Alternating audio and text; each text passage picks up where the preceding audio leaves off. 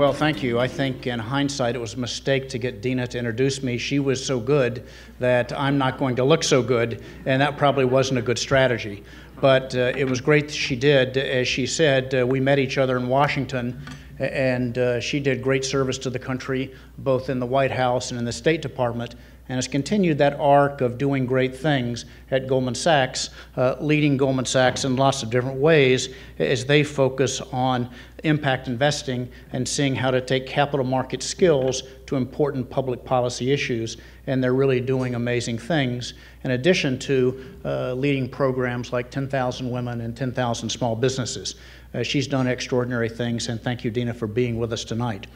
Also, too, um, let me just say uh, congratulations to the fellow honorees, Ken, Jeff, Ron, Beth, and subsequently Paul. Uh, it's great to be here and to be in your company, and it's an honor for me.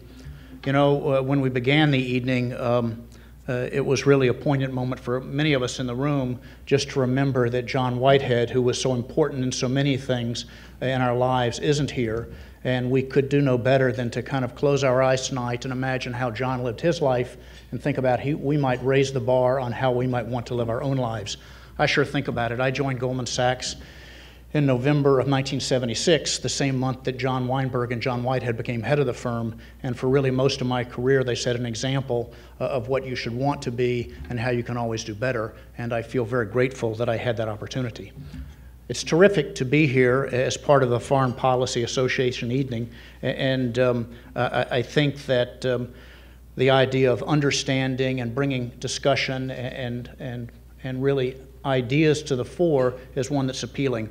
I thought I would, what I might do for just a few minutes tonight is to continue on a theme that, that several others have mentioned, and that is to talk for a little bit about our industry, the financial services industry, and how we can think about some of the issues that we're struggling with uh, in our country of growth and inequality but I think also maybe to put a little bit of a different lens than is the current rhetoric on the issue. You know, uh, we're eight years now removed from uh, the recession, and then we've enjoyed some of the recovery but sometimes I feel as though the conversation is as if we were still in 2008. And that's just not the case. And while it might be politically expedient, and I understand the reason for the discussion, it is troubling to me.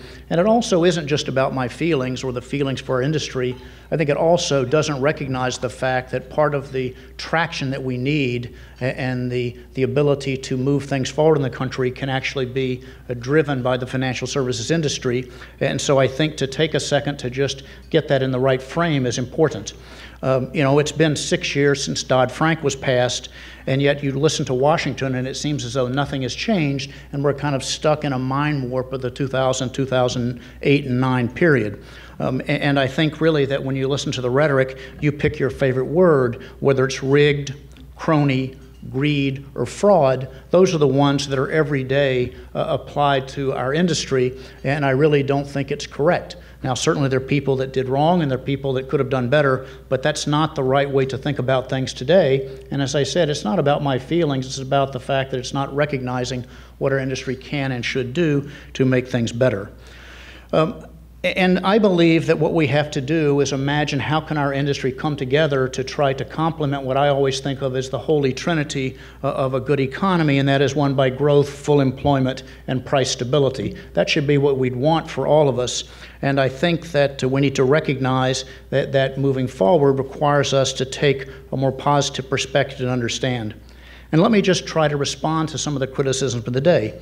First, I think that despite the perspective being presented, the financial services industry is unarguably safer and stronger than it was in 2008. Much progress has been made. Our banks, all 31, have passed stress tests, and they're on the front foot with regard to the ability to extend credit to worthy borrowers. Dodd Frank has brought significant openness, and where historically uh, about 15% of the financial services derivatives were publicly traded, now it's almost 75%. So clearly that's the case. Second, I believe that the industry is more competitive, that there are all kinds of new business models, and we're seeing all types of new people around the world, and the competition is, competition is great.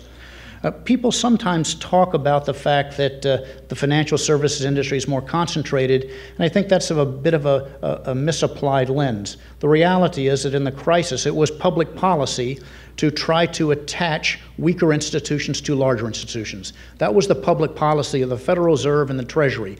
We thought that was the safe policy to ensure stronger institutions. The result was our large and stronger institutions became larger. That's not a surprise. That was the plan. Today, the reality is that many of these institutions now are changing their business models, business models and shrinking, and as a result, I believe the trend of larger institutions will actually move the other way, and there'll be more and more competition as we look forward. So when I try to talk about this and think about it, I say, what do I think that um, that eh, people are healthy, the institutions are healthy, and the insti- and the financial services system looks looks broader. What do I believe that people should be thinking about? I believe, and I'll only have three, and then uh, we'll move on, but that issue number one is we need to build an agile, responsive regulatory system that safeguards the economy, but also understands the role that risk plays in promoting growth and innovation. Number two, the second big policy challenge is to balance consumer protection and vigorous financial markets. The reality is that there always should be, should be risk being taken, and some people will be rewarded and some people will be disappointed, but to recognize that that should be the plan. The third policy issue is to support innovation and competition within financial services. We see business models changing all the time. You pick your, pick your favorite industry, but they're all changing before our eyes, and I believe we should believe and expect that the same type of innovation will benefit the economy, the consumers, and new institutions as that changes.